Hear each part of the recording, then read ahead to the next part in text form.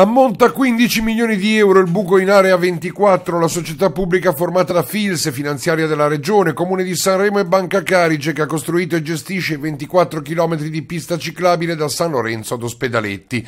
Una situazione che ha portato il CDA a chiedere al Tribunale di Imperia l'ammissione al concordato preventivo con continuità aziendale per evitare il fallimento.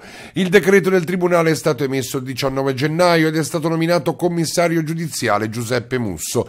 Per questo motivo Mariano Porro, il presidente del CDA, ha presentato le sue dimissioni. Porro, contattato dalla nostra redazione, ha spiegato di aver annunciato le sue dimissioni al CDA fin dal 19 dicembre scorso, dopo aver ottenuto il parere favorevole al concordato preventivo da parte dello stesso Consiglio di amministrazione e del pool di esperti a cui Porro aveva affidato l'analisi dei conti della società. Proprio da quell'analisi erano emerse criticità finanziarie ben più pesanti rispetto a quelle prospettate in un primo tempo e per questo è stato stata deliberata la richiesta di concordato preventivo e Porro ha maturato la decisione di lasciare.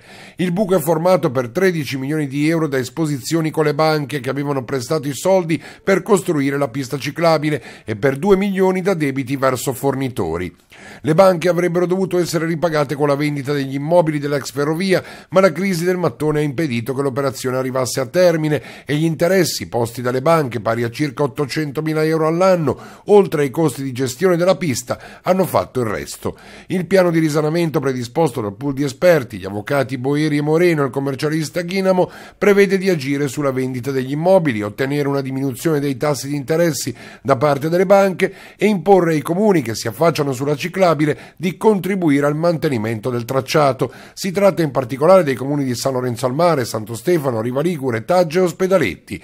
Diversa infatti la posizione del comune di Sanremo che è socio di Area 24 ed è l'unico finora ad aver contribuito economicamente al mantenimento della società.